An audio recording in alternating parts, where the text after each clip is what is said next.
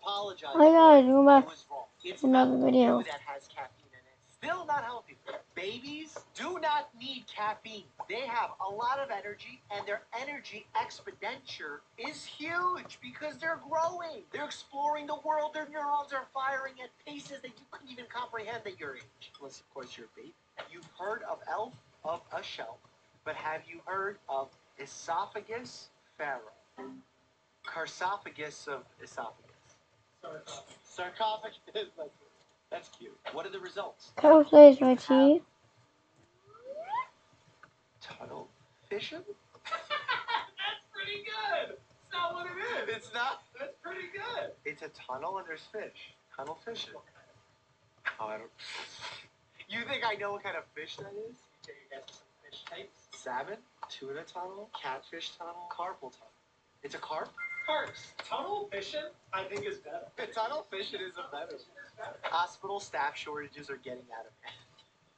I love that only one of the dogs is wearing masks. Do you think one of the dogs is a hentai mask? Me goes to bed, my nostrils. Yo, so, so true. Our bedrooms tend to be they're over air conditioned or overheated, which makes them dry. So nostrils seem to clog up. One of my nostrils usually actually doesn't. I probably have a deviant. Botox.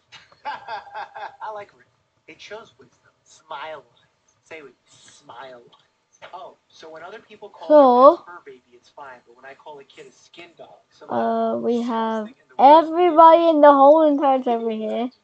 This feels like 1.16 again. Science. Science. Please just don't use your phone right before bed and right after waking up. It's Okay. totally destroying your circadian. Me now. People pick and choose when they want to listen to science. They may believe it, but they can choose to not listen to it. That's the beauty of being human. It goes against science to jump out of off of a cliff with a squirrel suit, but yet people do it. Run, That is the rabbit, beauty of being run, are rabbit, infallible run, creatures. run, I run, truly actually don't even know what run, infallible means. It rabbit, like run, rabbit, run. Ketchup, tomato. Oh, that's actually that's cute. I, I give that one 10 out of 10 for cute. As you know, if you're a practicing physician or medical student, we don't replete with blood uh, unless the patient is actively bleeding or has a hemoglobin less than seven.